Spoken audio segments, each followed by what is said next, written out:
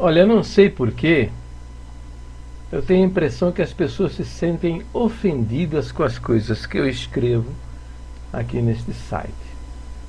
Mas eu pergunto a você, com toda sinceridade, você tem razão de se sentir ofendido? Você não tem razão para se sentir ofendido. Porque sabe por quê? Porque você simplesmente não existe. Você é um fake. Você é uma figura. Você não tem cara, você não tem nome, você não tem endereço, endereço. Ninguém sabe quem você é. Você pode passar por mim na porta da minha casa, da minha rua, até conversar comigo, e eu jamais vou identificar que você é o fake deste site aqui. Então não há por que você ficar ofendido. Se há alguém que deveria ficar ofendido, sou eu. Porque essa cara que você está vendo agora aí nesse vídeo é a minha. A cara que você vê no Orkut, outros sites, outros lugares, é a minha. Eu tenho nome, endereço, SIC, RG, telefone. Está à disposição de quem quiser. É só procurar. Eu não vou facilitar a vida dos meus adversários dizendo aqui e agora estas coisas. Mas se quiser fazer, tem meios. É só procurar. Aliás, teve uns bandidos aí do ministério que já intentaram contra a minha vida. Então veja, meus queridos, se há alguém que poderia, porventura, sentir-se ofendido, seria a minha pessoa. E por que, que eu ajo assim? Por que eu tenho essas atitudes? Porque eu entendo que se você fala da palavra de Deus e se você se declara um servo de Deus, servo de Cristo, melhor dizer, não de Deus.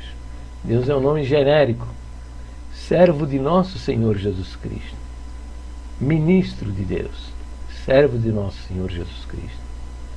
Você precisa ter cara, ó, cara, caráter. Você já imaginou que respeito teria o apóstolo Paulo se ele iniciasse as suas cartas dizendo Paulo, Paulinho da, lá da Judéia, Paulinho, Paulinho das das candonguinhas, ninguém o respeitaria. servo de Deus precisa ter nome, cara, caráter, conduta. Certo?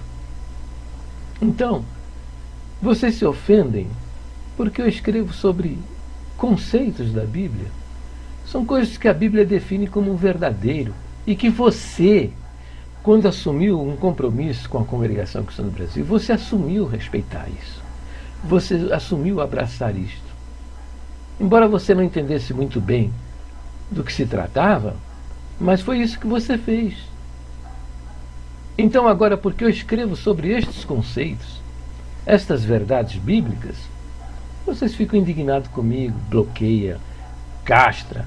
O outro fica ofendido porque eu ponho umas figurinhas engraçadas. Fica ofendido, acho que não deve. Para com isso. Para com isso se você quisesse, quer deletar os meus comentários, apresenta pelo menos a sua cara. Mostra para as pessoas que você é um homem de verdade, que você tem coragem, que você é verdadeiro. E não dessa maneira, né, filho? Para com isso. Estou falando bobagem? Não, não estou falando bobagem. Né? Não estou falando bobagem. Você precisa ter cara e falar a verdade. Agora, vocês querem que eu aceite que um camarada, por causa da, da, da cultura dele, porque ele foi criado nesse ambiente, não pode usar barbicha, porque não pode ir no culto sem paletó e gravata, que é o santo de Deus e outras asneiras mais, venha desqualificar uma pessoa que está fazendo o que ninguém está fazendo. É, por exemplo, nós aqui, os nossos meninos, dizem que a Bíblia não é a palavra de Deus. A palavra de Deus é o que sai da boca deles. E ele abre a Bíblia e fala: Está vendo essa Bíblia aqui? Essa é a palavra de Deus. Olha para cá e você vai ficar curado. Se não ficar curado, é porque eu sou um mentiroso enganador. E aí eu vou fechar minha Bíblia e vou embora para casa porque vai ficar muito claro que eu sou um mentiroso enganador. Aí vocês ficam irados. Aí fica metendo pau em, lencinho, papapá, que pede muito dinheiro. Você acha que Deus está preocupado com isso? Onde está a sua cabeça? Uma alma, uma alma vale mais que o mundo inteiro, rapaz. E se alguém está se dedicando à salvação desta alma, Deus vai fazer tudo por ele. Agora, é, vocês estão no formalismo, num, num conservadorismo.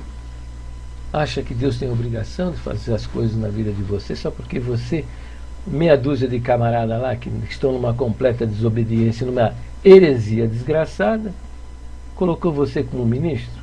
Você acha que Deus tem obrigação de honrar teu ministério? Onde não há uma consagração, não há uma obediência, não há uma busca, não há oração, não há vigília, você nem se interessa pelas almas, você nem visita ninguém, nem os teus amigos você visita, nem os seus familiares é capaz de você nem visitar. Para ir lá pelo menos dar uma palavra de consolo, fazer uma oração por ele. E agora você vem querer condenar as pessoas. Ah, faça-me o favor, vai. Deixa de ser vergonhice, dá uma vergonha na cara, dá uma vergonha na cara. Você não quer exercer o ministério como deve exercer. Então, por favor, respeite o trabalho de outras pessoas. É isso aí, meu filho. O que, que você quer mais?